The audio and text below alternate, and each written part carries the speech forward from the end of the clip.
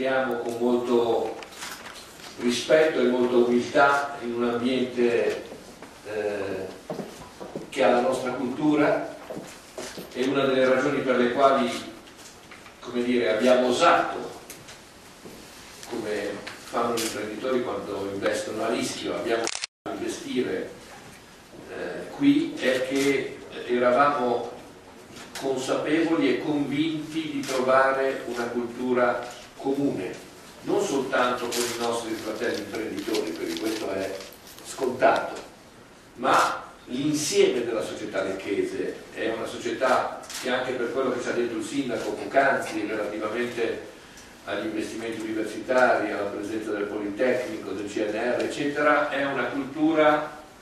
volta all'industria e all'innovazione, cioè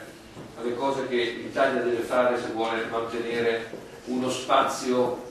in questo mondo così difficile e così profondo mutamento.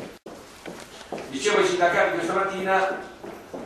eh, c'è un elemento di novità rispetto all'assetto precedente. L'assetto precedente era un assetto nel quale il Caleotto era dentro un gruppo Lucchini che aveva un altro laminatoio che faceva le stesse cose più o meno. E naturalmente eh, questo eh, era una, un elemento, fatemi dire, di complessità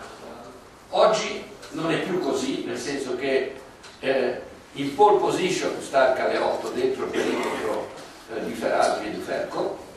non è secondo a, a, nessun altro laminatorio che fa questo prodotto, quindi ci sarà la concentrazione totale della proprietà su questo. E questo è un elemento di grande, di grande forza e di grande significato. L'altra faccia della medaglia è naturalmente che la battaglia competitiva aumenta, perché poi ci ritroveremo il laminatorio di Piombino, che prima era un laminatoio, come dire, fratello, che sarà un laminatoio concorrente. Quindi dovremo essere bravi noi e far leva sugli elementi strategici che sono la localizzazione e la vicinanza al mercato dei clienti e la qualità dell'impianto e della forza lavoro, gli skills della forza lavoro che sanno fare questi prodotti per essere più competitivi di tutti.